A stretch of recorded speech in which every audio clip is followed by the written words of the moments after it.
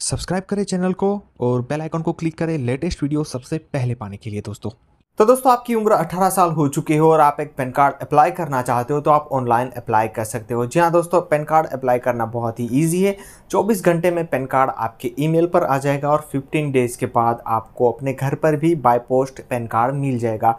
तो दोस्तों, कैसे अप्लाई करना है पैन कार्ड को, उसका सारा प्रोसेस मैं आपको दिखाने वाला हूँ। तो चलिए दोस्तों, वीडियो को शुरू करते हैं। तो दोस्तों गूगल में टाइप करना है पैन कार्ड अप्लाई यूटीआई जो पहली वेबसाइट है, PAN card apply U T उस पर क्लिक करना है। लिंक मैंने डिस्क्रिप्शन में भी दे दिया है दोस्तों। यहाँ पर आपको नीचे स्क्रॉल करना है, नीचे ऑप्शन मिलेगा apply for new PAN card form 49 A इसके ऊपर आपको क्लिक कर देना है। फॉर्म 49 ए ओपन हो चुका है दोस्तों। अभी यहाँ पर पहला ऑप्शन है फ़िज़िकल मोड तो यहाँ पर आपको अपने डॉक्यूमेंट है वो फिजिकली सेंड करने होंगे। तो हम डिजिटल मोड वाला ऑप्शन चूज़ करेंगे।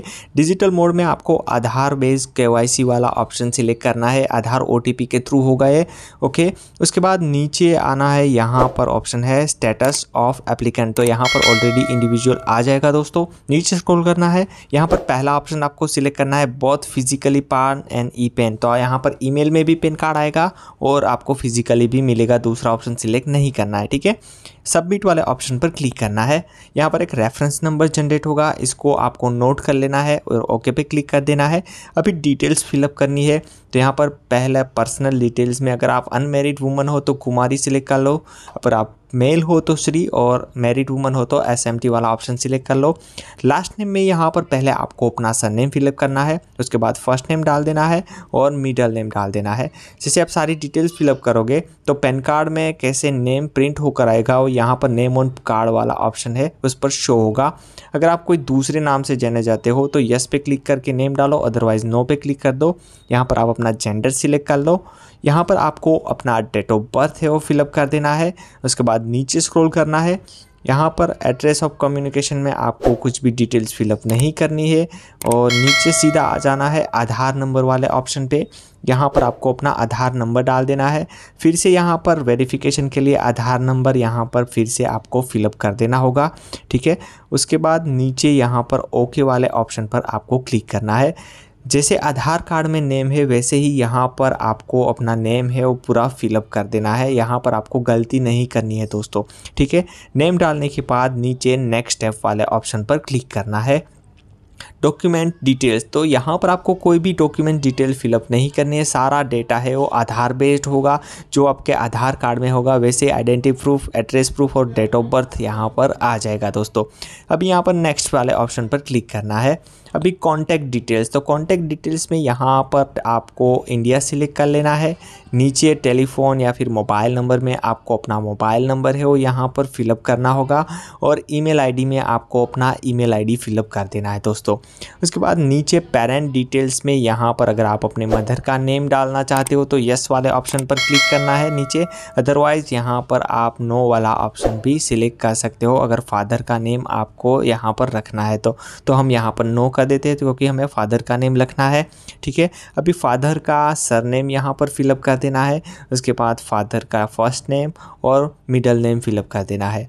यहाँ पर मदर नेम नेसेसरी नहीं है, यहाँ पर आपको फादर नेम ही सिलेक्टेड रहने देना है और नीचे अभी नेक्स्ट स्टेप वाले ऑप्शन पर क्लिक करना है दोस्तों।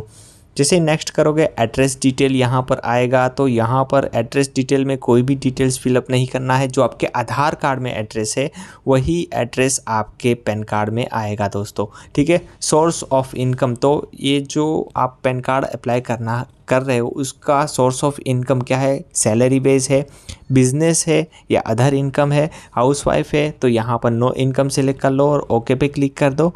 नीचे नेक्स्ट स्टेप वाले ऑप्शन पर क्लिक कर दो। अभी फिर से अदर डिटेल्स में यहाँ पर भी आपको कोई भी डेटा फिलअप नहीं करना है दोस्तों, सीधा नीचे आना है। सिलेक्ट कैपेसिटी में आपको हिमसेल्फ या फिर हर सेल्फ सिलेक्ट करना है और यहाँ पर वेरिफिकेशन प्लेस में जहाँ से आप फॉर्म फिलअप कर रहे हो, उस सिटी का नेम यहाँ पर फिलअप कर दो। नीचे नेक्स्ट स्टेप वाले ऑप्शन पर क्लिक करना है। डॉक्यूमेंट अपलोड तो यहाँ पर भी दोस्तों आपको कोई भी डॉक्यूमेंट्स है वो अपलोड नहीं करने हैं। सारा आधार बेस ही होगा। तो आपको ये भी स्किप कर देना है पूरा, नीचे सबमिट वाले ऑप्शन पर क्लिक करना है। अभी दोस्तों आपका एप्लीकेशन है हो चुका है, यहाँ पर आपका एप्लीकेशन नंबर भी आ चुका है, इसको नोट कर लो और अभी मेक पेमेंट वाले ऑप्शन पर हम क्लिक करेंगे। अभी हमें पेमेंट करना है तो यहाँ पर आप मोबाइल नंबर या ईमेल आईडी डालना चाहो तो डाल सकते हो। अदरवाइज़ यहाँ पर बिल टैक्स वाले ऑप्शन पर क्लिक कर दो, नीचे कन्फर्म पेमेंट वाले ऑप्शन पर क्लिक करना है। बहुत सारी डिटेल्स आपको पेमेंट की मिल जाएगी। यहाँ से कोई एक ऑप्शन आप चूज़ कर सकते हो। मैं यूपीआई वाला ऑप्शन चूज़ कर रहा हूँ। नीचे मेक पेमेंट वाले ऑप्शन पर क्लिक करना है। अभी हमें यहाँ पर यू पी आई फिलअप कर देना है। मेक पेमेंट वाले ऑप्शन पर क्लिक करना है। आपके यूपीआई पे एक नोटिफिकेशन आया होगा। नोटिफिकेशन में आपको पेमेंट कर देना है दोस्तों। जब भी आपका पेमेंट हो जाएगा, सीधा इस यहाँ पर आप रिडायरेक्ट हो जाओगे। आपको यहाँ पर अपना एप्लीकेशन नंबर या रेफरेंस नंबर है वो फिलअप कर देना है, जो मैंने आपको बताया। पहले रेफरेंस नंबर आया था, उसके बाद एप्लीकेशन नंबर भी लास्ट में आया था। उसके बाद आपको यहाँ पर डेट ऑफ़ बर्थ डाल देना है और कैप्चा फिलअप कर देना है। नीचे सबमिट वाले ऑप्शन पर क्लिक करना है। जैसे आप सबमिट पे क्लिक करते हो तो आपका यहाँ पर एक आधार बेस्ड ओटीपी आएगा। अभी ये ई के हो रहा है दोस्तों तो आपको यहाँ पर ओ टी फिलअप कर देना है टर्म एंड कंडीशन को एक्सेप्ट करके सबमिट पे क्लिक करना है। तो अभी यहाँ पर दोस्तों आधार डिटेल्स में यहाँ पर एओ कोड तो गेट एओ डिटेल्स पे जैसे आप क्लिक करोगे, आपका एओ कोड है, वो सबमिट हो जाएगा ऑटोमेटिकली देखो ऊपर आ चुका है। नीचे अभी अपडेट वाले ऑप्शन पर क्लिक करना है। अभी हमें ई साइन करना है आधार बेस तो यहाँ पर आधार नंबर में आपको अपना आधार नंबर है, वो पूरा फिलअप कर देना है। नीचे आपको दूसरा ऑप्शन आधार ओटीपी वाला ऑप्शन सिलेक्ट करना है। नीचे गेट ओटीपी पे क्लिक करना है। तो दोस्तों, आधार कार्ड में जो रजिस्टर्ड मोबाइल नंबर है, उस पर एक ओ आएगा। ओ टी पी यहाँ पर फिलअप कर देना है, नीचे टिक मार्क कर देना है और सबमिट वाले ऑप्शन पर हमें क्लिक कर देना है। जैसे आप यहाँ पर क्लिक करते हो, हमारा एप्लीकेशन है, वो पूरा हो चुका है दोस्तों। हमारा जो पैन कार्ड का पूरा प्रोसेस ख़त्म हो चुका है दोस्तों। अभी आपको अपना पैन कार्ड है, उसका स्टेटस देखना है तो आपको कैसे देखना है? यहाँ पर इस वाले पोर्टल पर वापस आ जाना है, नीचे स्क्रॉल करना है और यहाँ पर ट्रैक पैन कार्ड वाले ऑप्शन पर यहाँ पर क्लिक टू हीयर पे क्लिक करना है। यहाँ पर आपको अपना एप्लीकेशन नंबर है, वो फिलअप कर देना है, जहाँ पे यू लिखा है उसके साइड में। ओके एप्लीकेशन नंबर फिलअप करने के बाद नीचे आपको अपना डेट ऑफ़ बर्थ भी पूरा फिलअप कर देना है।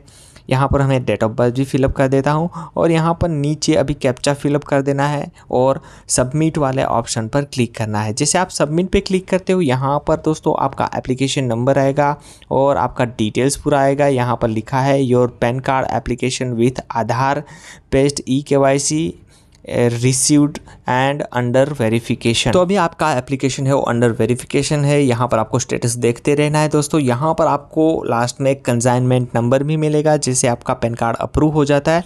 तो उससे आप अपना जो पैन कार्ड है वो ट्रैक कर सकते हो बहुत ही ईजिली उसका भी मैंने वीडियो बना कर रखा है डिस्क्रिप्शन में मिल जाएगा दोस्तों। तो दोस्तों इस तरह से आप पैन कार्ड को ऑनलाइन अप्लाई कर सकते हो। वीडियो अच्छा लगा है दोस्तों तो लाइक करें शेयर करें सब्सक्राइब ज़रूर करें और बेल आइकॉन को ज़रूर क्लिक करें। Thank you so much for watching.